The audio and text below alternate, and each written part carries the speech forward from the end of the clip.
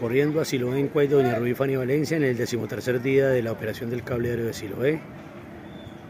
El reinicio de la operación con el circo Hermanos Gasca y la panorámica del antiguo vertedero de residuos de Navarro, que es la montaña que ustedes ven al frente. Este recorriendo a Siloé en Cuay Doña Rubí Fani Valencia, mostrándole la parte histórica del antiguo vertedero de Navarro.